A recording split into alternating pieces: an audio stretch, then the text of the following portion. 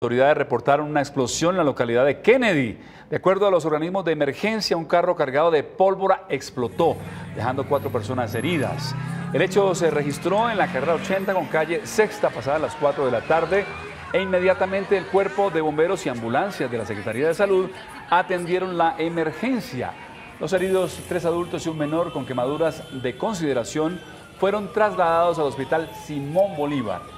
La policía investiga las condiciones en que iba cargada la pólvora, si contaban con los permisos para transportarla y las causas de la explosión. Según las autoridades, el carro formaba parte de una caravana de la Virgen del Carmen.